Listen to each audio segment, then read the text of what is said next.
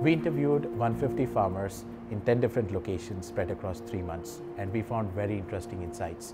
Uh, we found out that there were too many players coming out with a very innovative solutions, and farmers were not being able to make use of those platforms.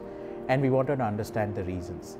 And we found out two patterns. One was the complexity in terms of understanding the platform as a whole, and second, in terms of fragmentation, where too many uh, uh, specialized information exist and farmers are not able to install all of them given the kind of uh, low-end phones they were using and hence the idea of one platform that was born.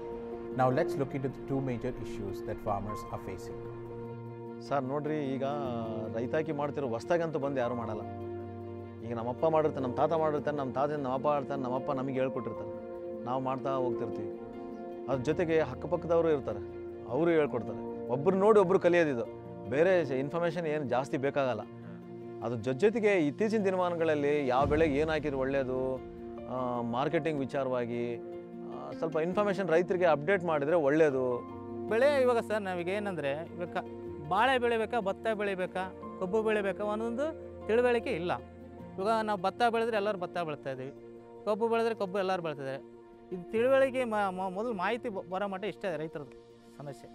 Now, farmers don't have access to scientific information, so they end up using age old traditional methods for their farming.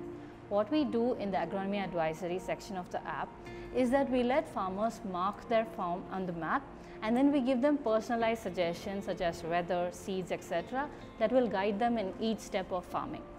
Given the technical limitations that we had, we had to ensure that the app was extremely light. So we used Google font, we kept the assets very light, and we even used just a single color throughout the interface to ensure that the app runs smoothly.